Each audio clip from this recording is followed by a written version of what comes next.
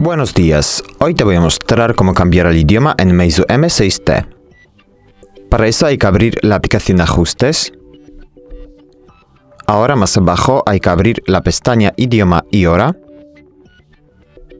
Aquí pulsamos idioma, la primera opción.